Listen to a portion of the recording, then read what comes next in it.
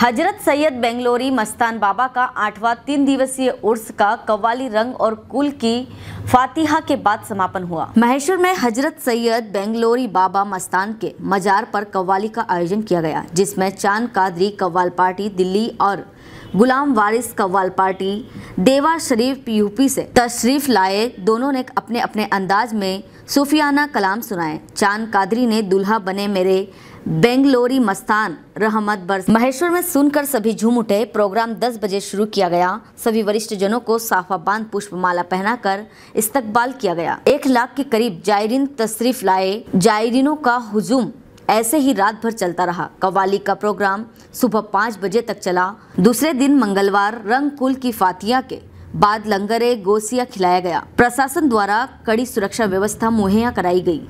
सुबह पाँच बजे तक एसडीओपी मनोहर सिंह गवली महेश्वर थाना प्रभारी पंकज तिवारी कसरावत थाना प्रभारी पुष्पकर्ण मुवेल खरगोन ज़िले का समस्त बल सुरक्षा व्यवस्था में मौजूद रहा।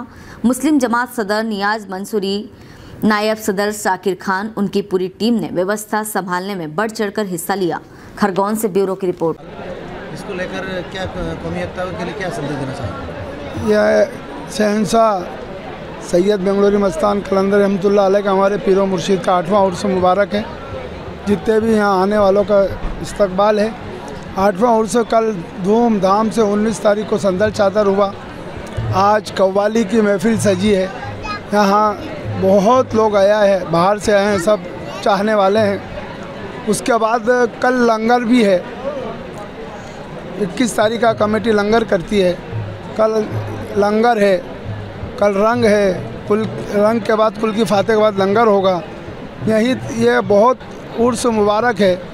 ये उर्स इतना फ़ेमस हो गया है सैयद बेंगलोरी मस्तान का का कि बाहर बाहर से पब्लिक आ रही है। आप खुद ही नज़ारा देख रहे हैं कि पैर रखने की जगह नहीं है। ये हमारे मुर्शिद पीर और मुर्शिद का करम है।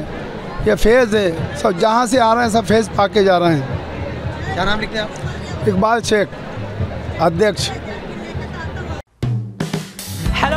आप देख रहे हैं हमारा channel S W twenty four news हमारे सारे वीडियो सबसे पहले देखने के लिए आप हमारे चैनल को सब्सक्राइब करें और पास में लगे बेल आइकोन को दबाना बिल्कुल भी ना भूलें।